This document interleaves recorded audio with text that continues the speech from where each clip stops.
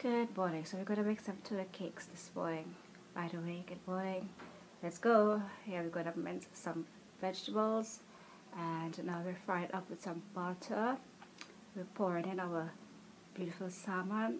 And now we're going to put it back into the processor to mince it some more. We throw in some egg yolks. And then we get it to a nice consistency. Now we have a flour mixture. We're going to put that beautiful salmon in there. Now let's start to form some ball.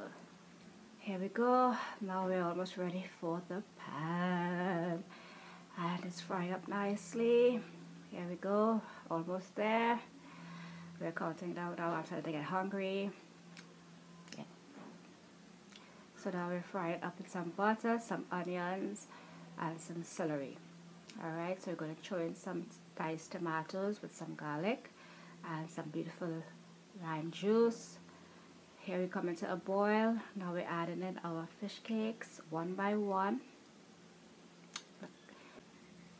Now we're to make a beautiful paste for this bread that we're to eat with this cake. And here we are, our beautiful breakfast. We have our cakes, we have some okra, we need that fiber we have some plantain, some boiled eggs, and our delicious, delicious garlic bread.